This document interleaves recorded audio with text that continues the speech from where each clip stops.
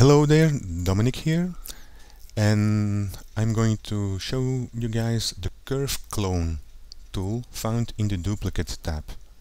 Right now I have this geometry here, I'm going to select curve clone and click my curve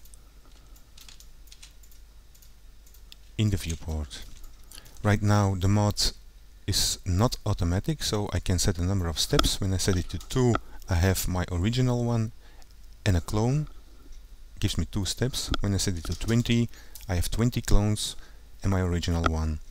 When I set it to automatic then I can adjust the smoothing angle like that. I'm gonna leave it at not automatic. I can specify to align to path and when align to path is checked I can set it uh, to align to normal or not I can start at source, then all geometry will be created starting from the source, but following the shape of the curve. I have right now a mode set to add, that means that I can edit knots by hovering over a, a knot when it highlights, I can click and drag, or with this one selected, when I click, a new, new knot will be created after that knot. So if I want to add one at the end, I have to first click on it to select it and then click again away from it to create a new knot. I can edit the knots and I can delete a knot. I can interactively place the knots by clicking and dragging on them or I can set a position over here. For instance, if I want it at 0, 0, 0, now that knot is at 0, 0, 0. I'm going to Control Z, Control Z to undo. Now with this knot selected, I can give that knot a bank angle and you can see what happens when I give it a bank angle in the viewport. I can do that for all knots. Give them a bank angle. All depends on what you want to do. I'm going to Control Z undo that and with Control Z I have dropped my tool. Going to draw a new one.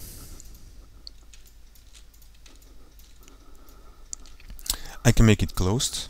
Then it's a closed loop. When it's not closed I can give it a start control to specify the start tension of the curve. I can give it an end control to give it to, to adjust the end tension of the curve. I can set it by length. Now all geometry is created uniformly along the curve. I can specify create polygon. When I check that, you see that white line appear. This is actually a curve polygon. That when now when I drop the tool, I will have these clones along with the creation of a curve polygon and that is useful for instance if you wanted to animate those clones along a curve then I can say well create polygon and then I already have a curve in that position. I can say to replace source. When I zoom in you see that the original geometry will shift to the first knot when I replace source. I can flip my polygons. You see polygons flip and I can merge vertices, vertices. When I check this I can set a merge distance. This is useful for if you wanted to merge some vertices. And in source I can say active meshes. This means in the mesh layer I am in that geometry will be cloned. I can set it to a specific mesh, for instance, and then with specific mesh I can say mesh item for instance mesh 2 now my second mesh will be replicated. Well not really replicated but cloned. Or a curve that I have in another mesh item layer. Going to then I can select all background layers or random background layers haven't experimented with this one yet or preset shape preset shape this means that when you press F6 and you go to profiles then you can select a profile and with the profile selected if I were to set source at preset, preset shape then that profile will be cloned along the curve. I'm going to leave it at active, active meshes for now. so this is first I'm going to stop for a moment. Okay I'm back. So I've undone everything and I've unhidden another geometry item. This is mesh 2 which is a child of this mesh item so if I in item mode were to move this item you see the child item will follow along control Z to undo. So I'm going to first select this item and in polygon mode going to choose the curve instance. Curve instance is very similar to the curve clone tool. So click in the viewport to create instances. And in the item list you can see all the instances being created. Now the reason for that I have added a child is that I um,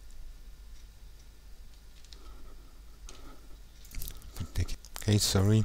Uh, so the reason that I had added a child to this is that with the curve instance I can also say um, I want to clone or instance the hierarchy. So right now when I check this you see that the children of the or the child of this mesh item is also being cloned. When I uncheck this it's only the parent itself that is being cloned.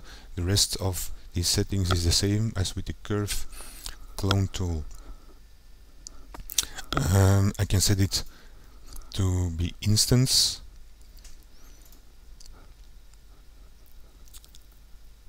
Bounding box.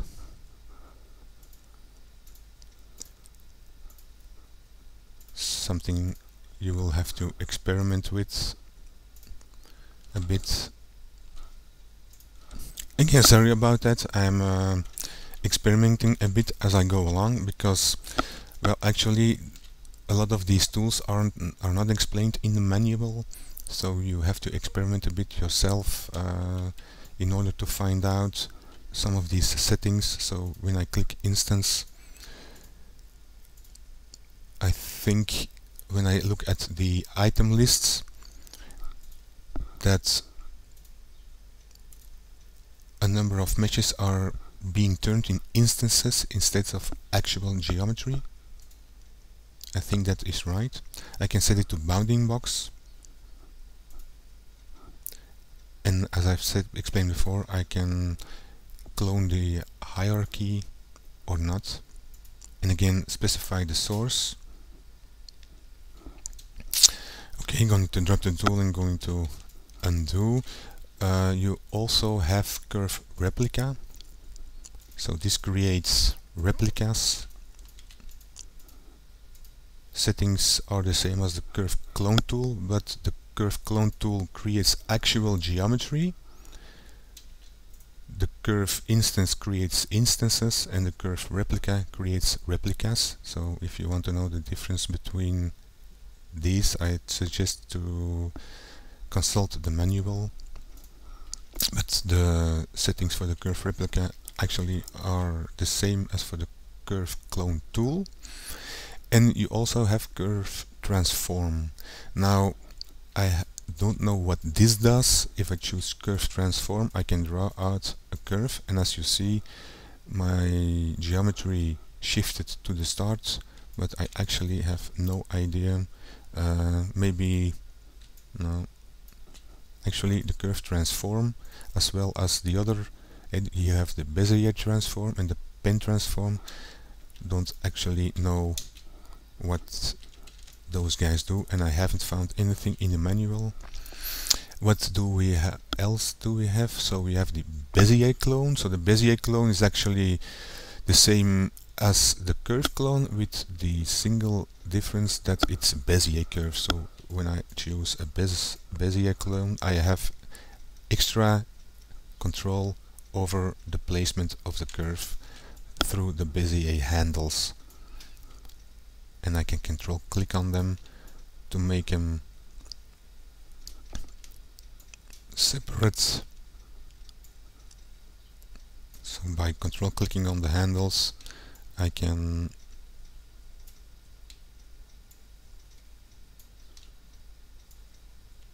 oh, sorry about that. Sometimes difficult to select the right handle. So like that and control click on this.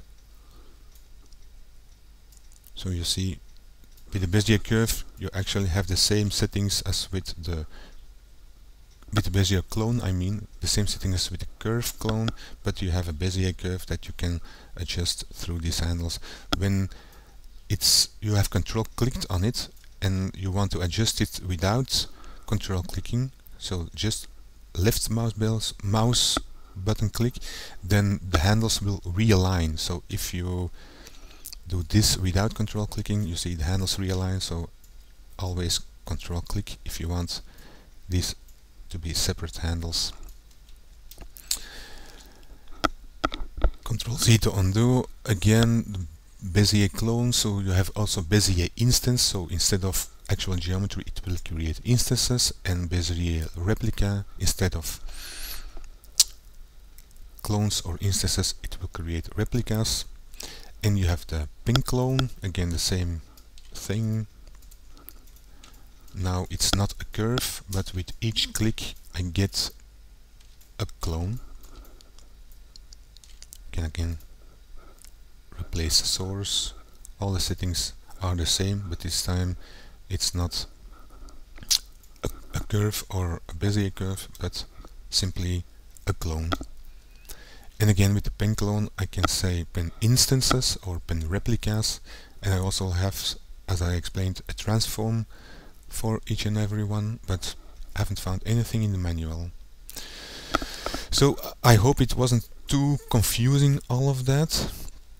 I suggest you play around with the curve clone tool like I've showed you in the beginning of the video. And when you get to know that one you will be able to use the other ones uh, please let me know if you find out what curve transform, Bezier transform and transform pen are actually for because I haven't found anything about it. The only thing I have to add is I want also, I'm going to stop for a moment. Okay, I'm back. I wanted to show you that on Luxology TV on Luxology's website. On page 8 you'll find a movie by Ryan named Constraint to Background. In this movie he shows you an example of using the curve instance tool to place geometry onto other geometry with the use of constraint to background. Very useful, I would suggest to check out this tool. Luxology TV page 8. So hope this was useful and bye for now. This was